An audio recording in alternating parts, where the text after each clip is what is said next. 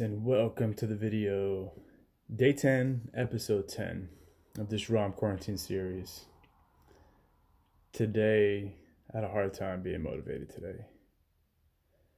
I woke up, I didn't sleep good last night at all. Um, the pillows here suck, just straight up suck. I think there's just day 10, it's now starting to get to me.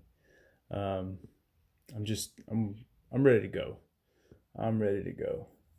Weather's very dreary. Rained last two days. It's overcast and cold today. So weather's very inconsistent, as you can tell. Wearing a hat, but still wearing a tank top. So go figure on that one. Um, but light at the end of the tunnel. Three days in a wake up. So Tuesday morning, local Korean time, I'll be out. Hopefully between 10 and 12. So looking forward to that.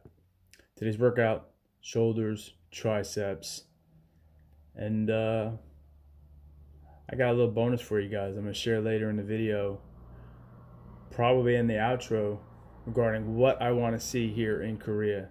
So stay tuned for that. Let's go.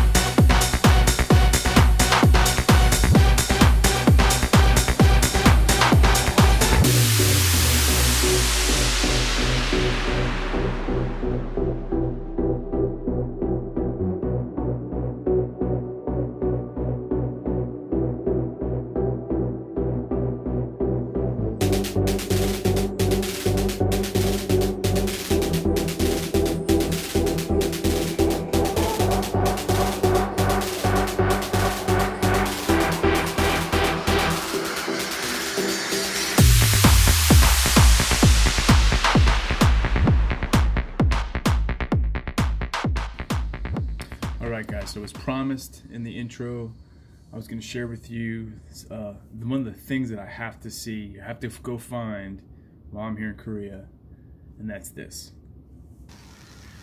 I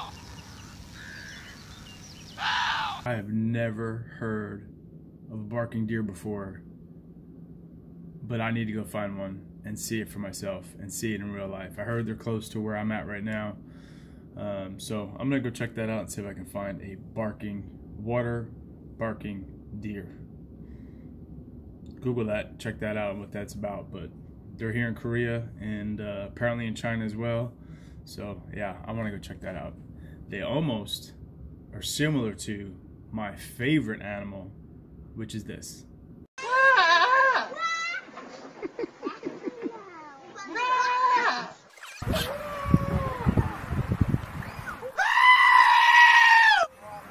I don't know about you guys, but I, I don't know who does not love a screaming goat. I mean, come on. Goats are my favorite animal. I want to own goats. Um, and I would love to have a screaming goat because how great would that be to just go outside and go see your goat and he screams at you. Hilarious. So that wraps up the video for today. Thanks for watching.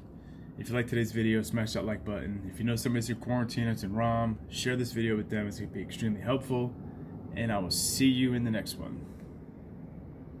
Two hours later.